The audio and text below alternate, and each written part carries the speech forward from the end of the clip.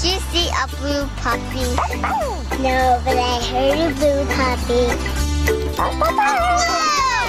Blue's Clues is next on Max Kids.